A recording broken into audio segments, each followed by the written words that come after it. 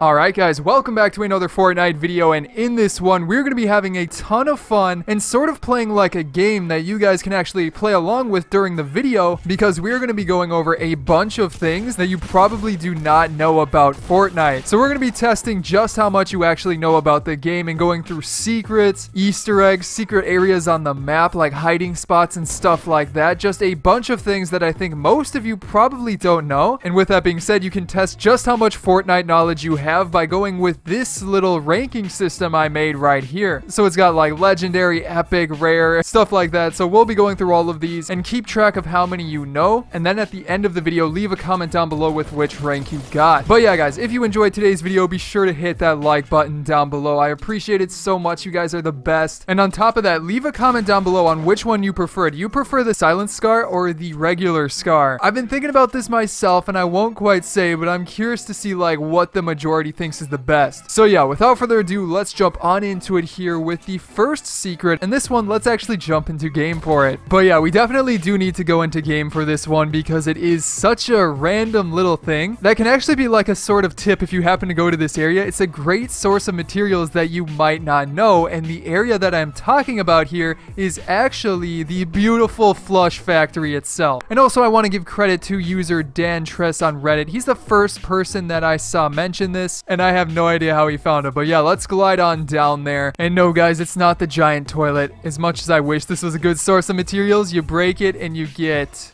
five.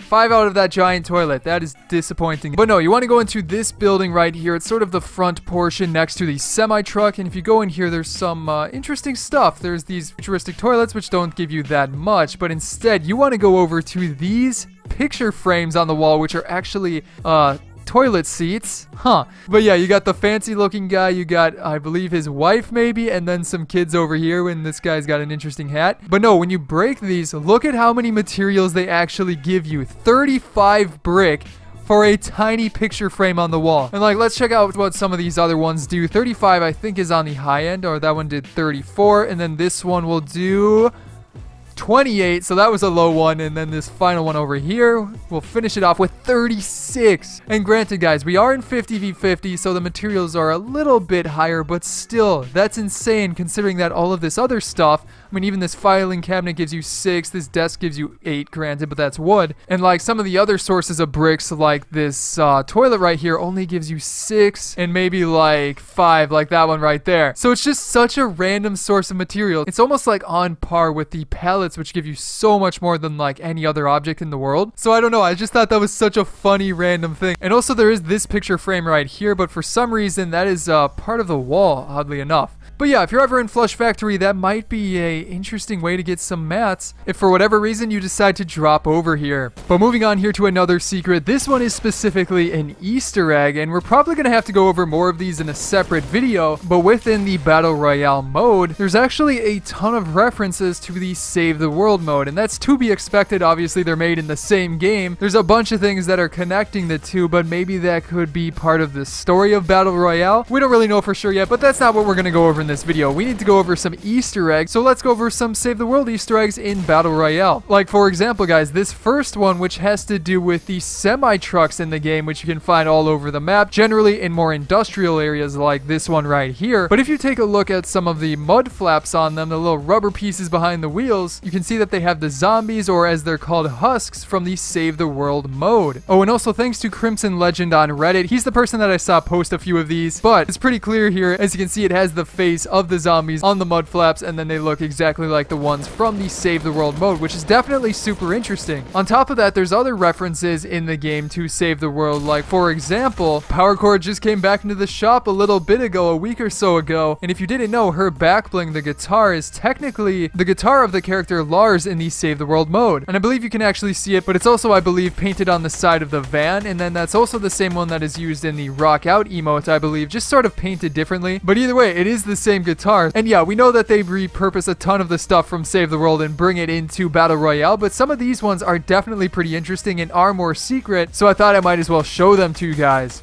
But jumping back into game here for another one, this one is a secret spot on the map because oddly enough, like the Fortnite map doesn't have a ton of secret hiding spots. It's pretty, you know, like solid if you know what I mean. But I mean, there's not like a ton of crevices to hide behind. But that's not the case actually with this new Dusty Diner. There's actually a ton of hiding spots. So I wanted to go through, show them to you guys in case you do drop at Dusty Diner. Maybe you want to hide out somewhere. You need somewhere to heal up. There's a whole squad trying to hunt you down. These are by far the best places to go. So first of all, if you go up here, there's actually this really interesting spot right under this wooden, you know, platform. So if you break it down, then also you got to break down this one. But we probably should break down that one first now that I'm thinking about it. But then you can slide on into this hole right here and you are completely hidden. You can also block off up there if you want to keep it even more hidden. But I mean, come on guys, nobody is ever going to find you down here. The only tough part is actually getting out of this area. I guess you could maybe edit it. That actually is probably the best way to do it. So edit it like that and then place it down and you can jump on out. But that's not the last spot.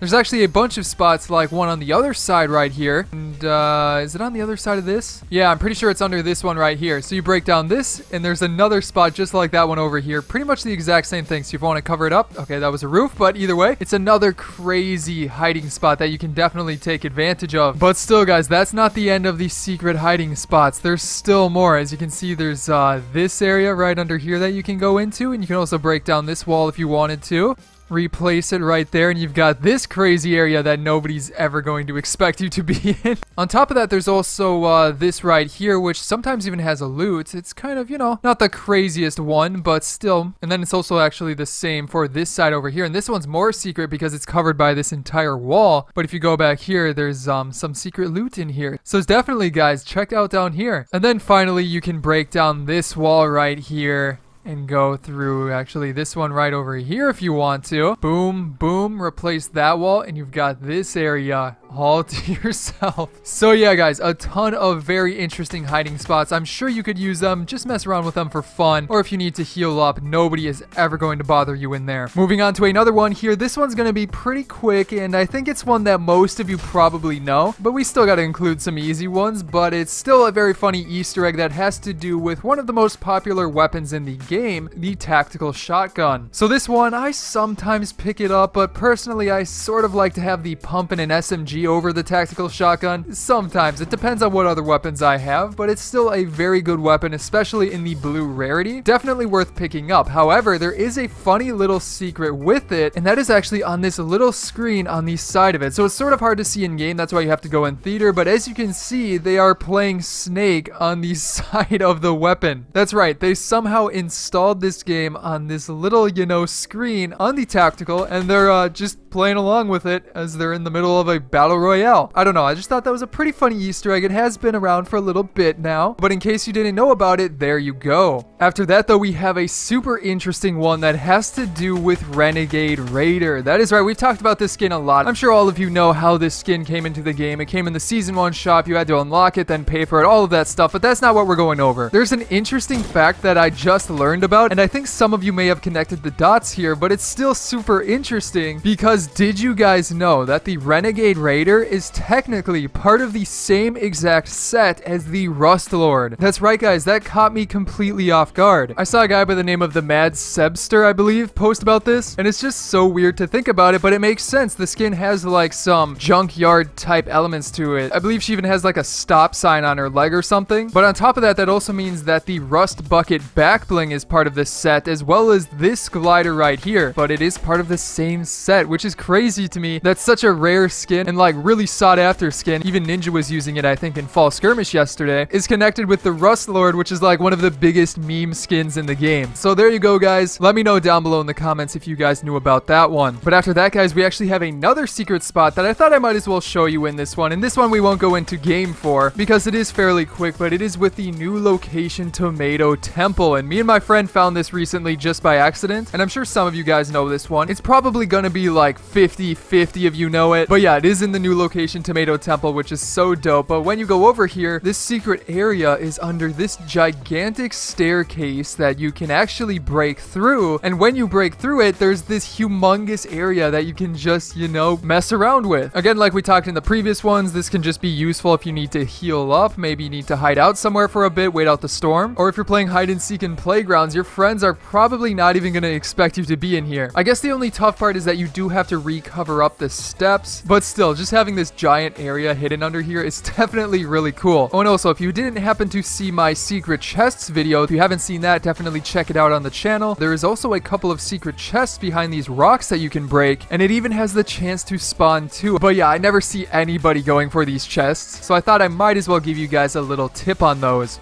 But moving on to another one here that has to do with Dusty Diner. There's so many cool things about this area. I just had to show them off to you guys. It actually has to do with the uh, the gift shop. You know, you go all the way through there. We talked about that in a previous video. But yeah, you go all the way through the gift shop. These things are pointing you towards it and you go down here. Lucky for us, it's open. There's also balloons. Got to pop those. But if you go inside of here, there's some brand new shirts hanging up on here that are pretty interesting because they have the Dusty Diner logo on them. There's actually two different logos. This more simple one, I guess you could say that, but I actually like this one up here, the faded shirt with the Dusty Diner cup on it. It is pretty dang beautiful, but it's pretty funny that they actually did customize this shirt right here to show the stuff on the gift shop for Dusty Diner. I don't know, I thought that was pretty funny, and this place is so hard to jump out of. You gotta be kidding me, you gotta jump out of like an angle. There we go. But yeah, pretty interesting thing right there. But then moving on to one last one, and we'll go through this one really quick here, and thanks to Cha99, that's where I found out about this weird thing, but it's such a random thing. If you take a look at the map when the battle bus is going over it and zoom in really closely on the battle bus itself, you can see that the satellite is on this side right here. However, guys, and this is the crazy part, on the actual battle bus, it is on the opposite side. Epic, what are you doing? I'm just kidding. But yeah, it's just one of those things that you probably never notice, but now that it's pointed out to you, you probably will not forget about it. So I'm sorry about that, guys, but I had to end the video on a funny one. So yeah, with that being said, here are the rankings. Be sure to comment down below what rank you got and how many of these you knew. I'm really curious to see. But yeah, guys, if you are new to the channel, be sure to hit that subscribe button down below. Always helps me out so much and encourages me to make more of these videos for you guys. On top of that, you can check out some of my previous videos here, such as going through 8 clues and theories, trying to explain what exactly happened to Loot Lake, and then another fun video on the right that I'm sure you will enjoy. But other than that, guys, I hope you enjoyed this video, and I will see you in the next one.